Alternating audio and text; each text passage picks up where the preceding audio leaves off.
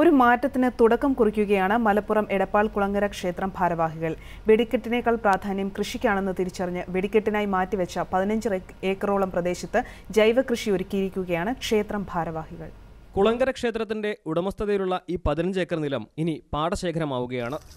കരിമരുന്ന് മണം നിറയ്ക്കുന്ന പൂരക്കാലത്തിന് ശേഷം തരിശായി കിടക്കുന്ന മണ്ണിൽ നിന്നും ചേറിന്റെ ഗന്ധം ഉയർന്നു കഴിഞ്ഞു.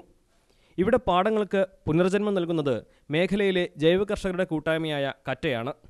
പന്ത്രണ്ടിനം ഔഷധ നെല്ലുകളാണ് ഇവിടെ കൃഷി ഇറക്കാൻ പോകുന്നത്.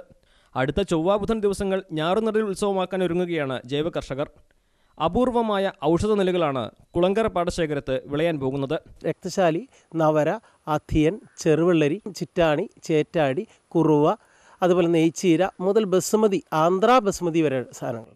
ഇത്രയും കാലം തരിശിട നിലം കൃഷിയിടമാക്കുന്നതിനെക്കുറിച്ച് ക്ഷേത്ര കമ്മിറ്റിക്കാർക്ക് പറയാനുള്ളത് ഇങ്ങനെ. വെടിക്കെട്ട് തൽക്കാലത്തെ ആൾക്കാർ വന്ന് ആസ്വദിച്ച് പോകുന്നു എന്നല്ലാതെ അതിന്റെ യാതൊരു പ്രയോജനമില്ല എന്ന് ഇവിടുത്തെ ഭൂരിപക്ഷം ജനങ്ങൾക്കും ബോധ്യപ്പെട്ടതിന്റെ അടിസ്ഥാനത്തിൽ കൃഷി അതിന് ഒന്നാം പരിഗണന കൊടുത്തുകൊണ്ട് ഈ ജൈവ രീതിയിലുള്ള കൃഷിക്ക് മുൻഗണന കൊടുത്തുകൊണ്ടുള്ള പരിപാടിയാണ് ഇപ്പോൾ ആസൂത്രണം ചെയ്യുന്നത്. കുളങ്കര ക്ഷേത്ര കമ്മിറ്റിക്കാരുടെ തീരുമാനത്തെ മാതൃകാപരം എന്നല്ലാതെ എന്താണ് വിശേഷിപ്പിക്കുക? ഏഷ്യാനെറ്റ് ന്യൂസ് തിരൂർ.